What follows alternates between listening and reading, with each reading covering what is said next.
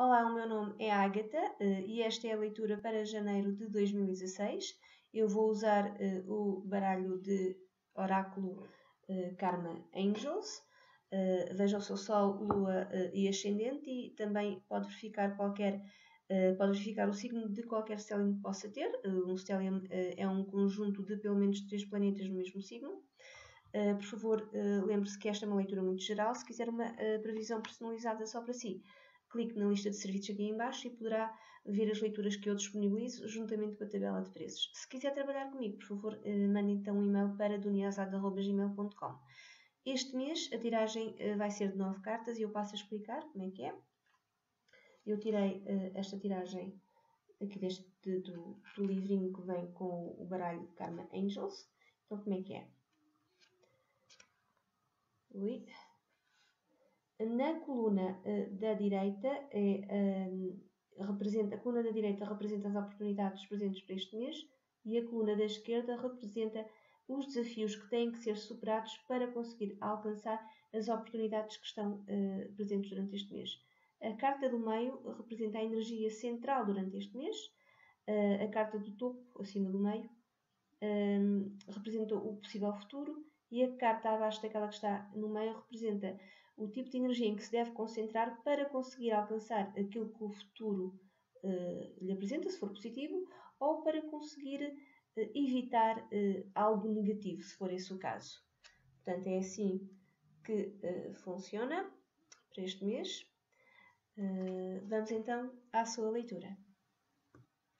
Olá, Sagitário. Então, esta é a leitura para si para janeiro de 2016. E qual é então a energia que vai estar presente durante todo o mês. A energia que vai estar presente durante todo o mês é representada pelo anjo Ananshel ou Anankel, que é o número 24. é o portador da beleza. É este anjo representa a graça de Deus e pede e pede-lhe que você cultive aquilo que é, que é o mais bonito, aquilo que é o mais harmonioso e deve trabalhar naquilo que realmente você ama durante todo este mês. Se você está a fazer alguma coisa que realmente não lhe agrada lá muito, esta carta diz que você deve dedicar-se a outra coisa de, de, que realmente gosta. Portanto, se você ver, aqui este anjo é muito artístico, está a tocar ali o violino e tem mais instrumentos musicais ali na nuvem, tem, uh, tem um livro, tem ali um, algo para pintar. Portanto, eu diria que, uh, seja qual for o tipo de problema ou de conflito que pode haver durante este mês de, de, de janeiro, aquilo que você deve fazer para, para encontrar harmonia dentro, em si é dedicar-se a coisas que realmente lhe agradem. Pode ser um hobby, pode se você está a escrever um livro, trabalhe no seu livro, se você pinta, uh, trabalhe no seu quadro, se você gosta de tocar, então toque piano, toque guitarra, faça o que quiser. Aquilo que realmente lhe, uh, lhe dá imenso gozo fazer é, aquilo, é, é, é, nesse tipo de energia, é a energia que vai estar presente durante todo este mês de janeiro de 2016, Sagitário, também é o tipo de energia em que se deve concentrar se houver algum tipo de problema uh, ou de conflito durante este mês de janeiro de 2016. Eu vou ler isto como princípio, meio e fim do mês. No princípio do mês, uh, a oportunidade que vai estar presente para si é representada uh, pelo anjo Uriel, que é o número 4. O que é que o livrinho diz? Uriel, poesia profética, é conhecido como Deus é a minha luz. Uriel é um anjo que ilumina e esclarece as dificuldades. Você deve uh, ouvir atentamente uh, para captar os seus sábios conselhos, de maneira a poder depois atuar consequentemente ou seguidamente. Uriel mostra-lhe o caminho a seguir. Portanto, há oportunidade para saber exatamente qual é o caminho a seguir no princípio do mês, desde que você esteja atento às mensagens que, que, que lhe chegam e que lhe podem chegar a todo lado. Pode ser uh, anúncios na TV, pode ser uh, qualquer coisa que você ouve na rádio, estranhos, estranhos a passarem, a falarem uns com os outros, ou a falarem ao telemóvel e de repente qualquer coisa que eles dizem parece que fala diretamente a si, parece que é um conselho diretamente para si. Isto pode ser uma maneira que o Uriel usa para passar a mensagem. Se você ouvir a mensagem, estiver atento ou atento à mensagem, você sabe exatamente qual é o caminho a seguir. Isto é a oportunidade que está presente no início do mês. E qual é o desafio que você deve ultrapassar de maneira a, a tomar, a, a conseguir a, concretizar esta oportunidade. Então, o desafio é, é-lhe apresentado por Aziel, que é o número 28. Aziel, uh, mitigar conflitos. Um, este anjo, uh, cujo nome significa união com Deus, pede que você deve aplicar, aplicar as disputas uh, e valorizar no seu conjunto cada aspecto de uma determinada situação. Não é o momento de separar-se, uh, mas o momento de cooperar juntos. Eu não, não, não iria ler no conjunto desta tiragem uh, esta carta desta maneira. Eu iria ler mais como o desafio é mitigar um conflito, seja ele qual for. Pode ser pessoal, pode ser profissional, pode ser de qual, qualquer tipo de, de conflito. Portanto, é um, talvez concentrar-se. Imagine que, que, há conflitos no seu trabalho, na, sua, na, na parte profissional, no seu trabalho. Então, você, uh, o, o, melhor é uh, valorizar os aspectos, os aspectos mais positivos e não se concentrar tanto nos aspectos mais negativos. O desafio a superar é mitigar e aplacar conflitos se você conseguir fazer isso no, no princípio do mês. Então, uh, no, a oportunidade que, que, que, lhe é apresentada é, virá através do real. Uh, no meio do mês, uh, a oportunidade uh, que está presente na sua vida é apresentada por Metatron, que é o número 9. Metatron, ai, provas e sofrimentos. o nome deste anjo é, é, conhecido por todos, o Metatron. e com frequência está relacionado com histórias que falam sobre ascensão e transformação. A leitura desta carta faz referência, uh, por um lado, a desafios uh, que, que, que, levam a que você transforme a sua vida, e por outro, à segurança ou à certeza de que esta mudança vai trazer frutos. Portanto, há, há uma oportunidade para mudar completamente a sua vida no meio do mês Sagitário e qual é o desafio que você deve superar de maneira a conseguir transformar completamente a sua vida, mesmo que isso implique algum género de conflito. Mas uh, se conseguir uh, ir além desse conflito, uh, essa mudança acabará por trazer acabará por, por, por, trazer frutos, ou seja, será uma mudança muito benéfica. Qual é o desafio que você deve superar? É representado por Aniel, que é o número 17. Aniel, consolo e compaixão. também é conhecido por Hanael e é considerado como um dos sete arcanjos. Este anjo defende os inocentes e os virtuosos. Nas tradições ocultas está associado a Vênus. Se você vir, tem aqui um colar. Eh, este é o símbolo de Vênus. O que significa que ele traz eh, à sua existência o conceito de ciclo natural. Eh, e também, também diz que a justiça e o equilíbrio podem intervir numa situação complicada. A sua presença significa que a questão está encerrada e é hora de fazer a paz e enterrar uma chave da guerra. Ou seja, se há algum tipo de conflito, em algum tipo de relação, e se você já tentou resolver eh, esta situação dentro de um conflito pessoal, profissional, seja que tipo for, e já tentou tudo e mais alguma coisa e já não dá, então é a, é a altura de realmente reconhecer que as coisas já não funcionam, acabar com o conflito uh, uh, e uh, dessa maneira trazendo harmonia, harmonia a toda a situação. Portanto, esse é o desafio. O desafio é trazer o equilíbrio e a harmonia a uma situação, reconhecendo que ela tem que acabar. Pode ser uma relação pessoal, pode ser uma relação profissional. Uh, se você conseguir fazer isso, então terá uma mudança que pode parecer difícil ao princípio, mas depois acaba por trazer frutos, isto mais no meio do mês de janeiro de 2020 e 16, Sagitário. E qual é eh, a oportunidade no fim do mês que está presente para si, Sagitário? Então, ela é apresentada por Cassiel, que é o número 18, que para mim é o Anjo Ninja. Olha para ele ali. Uh. Um, e a oportunidade, então, eh, Cassiel é um mediador e o pensador, também um meditador. Uh, perante as questões humanas, este anjo cabalístico, distante e enigmático, muitas vezes permanece afastado e oculto uh, e das, das relações, de, de, de, das situações humanas, um, ou seja, separa-se um bocadinho de, tudo o que, que está relacionado com os humanos. Uh, ao estar associado com Saturno, ele traz dor e lágrimas a quem merece. Uh, no entanto, em situações caóticas, ele é capaz de estabelecer um clima de moderação. Isto é a parte mais positiva. Uh, se esta carta uh, tivesse que dar um conselho sobre a melhor maneira de agir, aconselharia a ser imparcial e deixar que os acontecimentos sigam o seu próprio rumo. Portanto, a oportunidade no fim do mês é moderar qualquer tipo de lágrimas ou de dor que pode estar presente na sua vida. Pode acontecer qualquer coisa e você tem que deixar que os, que os acontecimentos sigam o seu rumo e não se tente imiscuir tanto uh, nesse acontecimento que pode ser doloroso. Uh, tente ser o mais imparcial possível, uh, serene uh, as suas emoções usando a meditação. A meditação é muito bom, nem que seja 5 minutos por dia. Respire 5 minutos, olhos fechados, concentre-se apenas na, na, sua respiração. Se tiver que Pode, pode usar uma coisa que é a intenção, a meditação com intenção, é repetir na sua mente eu estou sereno ou eu estou serena. Eu estou serena já, eu estou sereno já.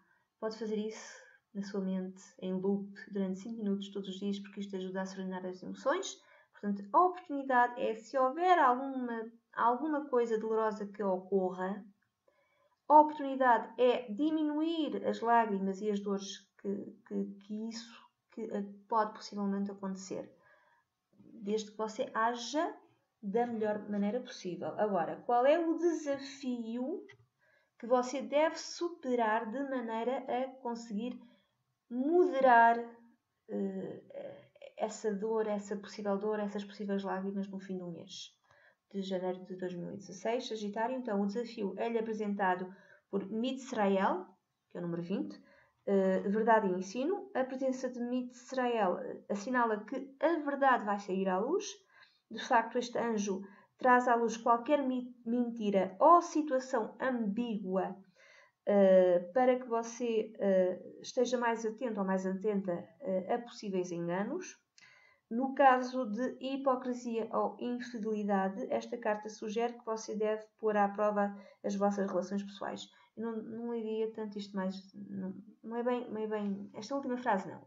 Ok, o desafio a separar é: há uma revelação, há uma verdade que sai à luz, que pode ser muito dolorosa. Portanto, o desafio será encarar essa verdade. Encare essa verdade.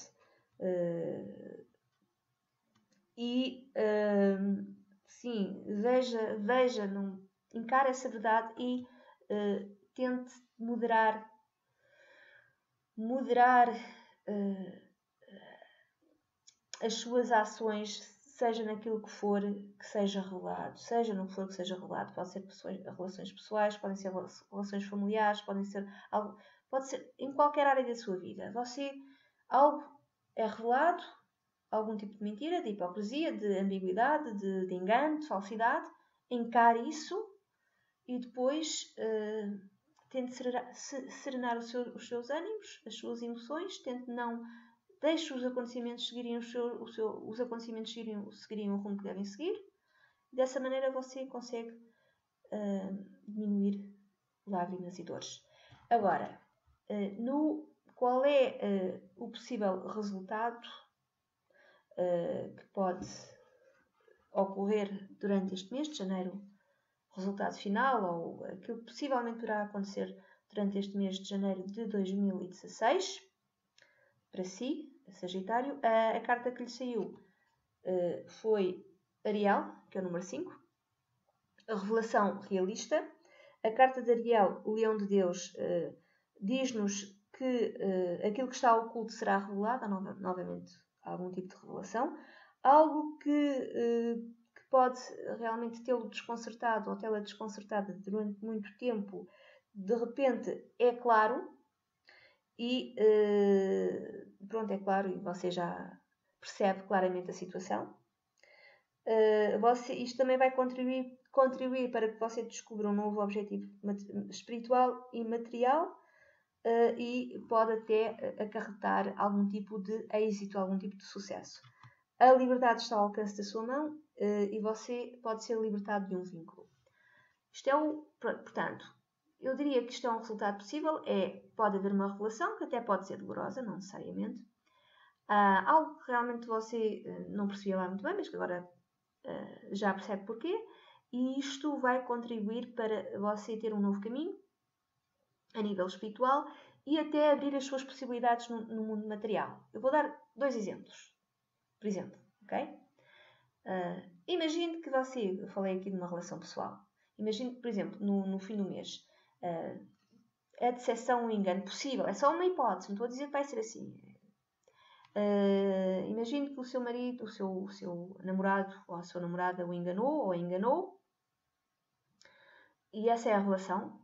Né? Tu enganaste-me, tu foste infiel, essa pode ser a, a, a relação que você tem que realmente encarar uh, e, e, agir da maneira, maneira mais correta. E Ariel volta a falar de outra relação. E aquilo que o, que o desconcertava ou que é desconcertada seria, por exemplo, porque é que ele quer que a gente se encontre sempre na minha casa? Porque é que a gente nunca vai à casa dele? Isso era, e uma coisa que se calhar você pensava, ah, porque se calhar na casa dele eu já tinha outra, tinha outra namorada a viver com ele, ou tinha lá a mulher. Está a perceber? Esse tipo de relação. Que de repente as coisas clicam e você já percebe porquê. Vou dar outro exemplo.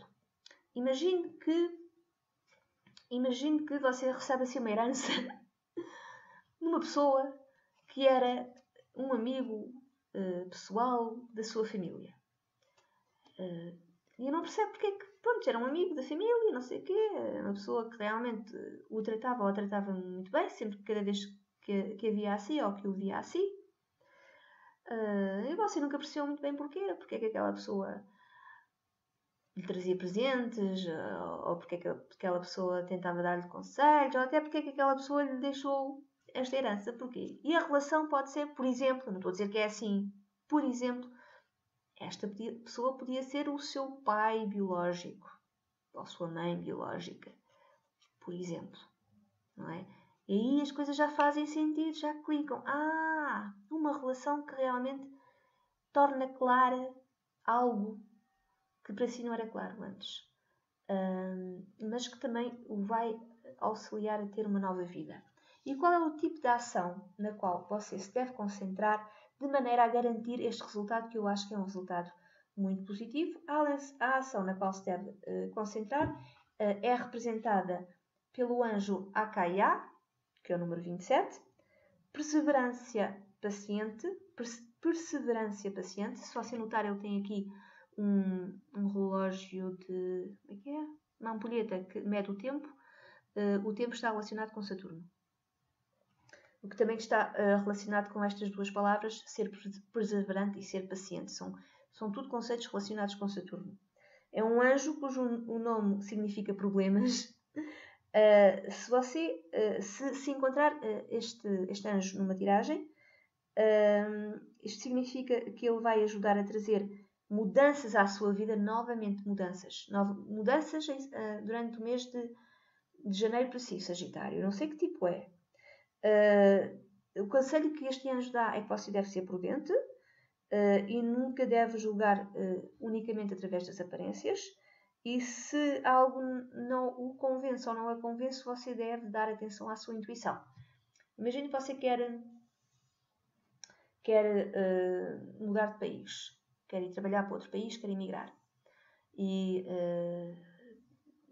concorre a várias posições, a vários, a vários empregos e pode aparecer um, uma ou duas ou três ou várias ofertas de trabalho para trabalhar lá fora, seja lá, lá fora, seja lá onde for. E há umas que, você, isto é demasiado bom para ser verdade. Ah, não acredito nisto. Confio no que a sua intuição lhe diz. Se a sua intuição, se, se pode haver outra oferta que não é, que não parece demasiado boa para ser verdade, mas que é que tem lógica, que é realista e por aí fora, mas no entanto é assim, isto realmente uh, é mais realista, é mais prometedor, mas há aqui qualquer coisa, a minha intuição está-me a dizer que as coisas podem não ser bem assim, confio na sua intuição.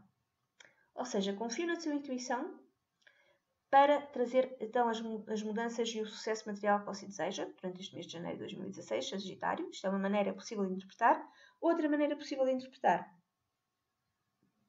é também, como uh, o título é Perseverança paciente é como a energia geral deste mês é trabalhar naquilo que você gosta é continuar a trabalhar naquilo que você gosta de maneira lenta, paciente, uh, ouvindo a sua intuição relativamente. Imagina que você está a pintar um quadro, você gosta, gosta imenso, imenso daquele quadro, então a sua intuição diz-lhe: pá, pinta, põe mais amarelo, ou põe mais vermelho. Ouça o que a sua intuição lhe diz e faça e trabalhe nessa obra, seja que obra for, uh, de maneira lenta, de maneira assim, pouco a pouco, sendo persistente, com muita paciência.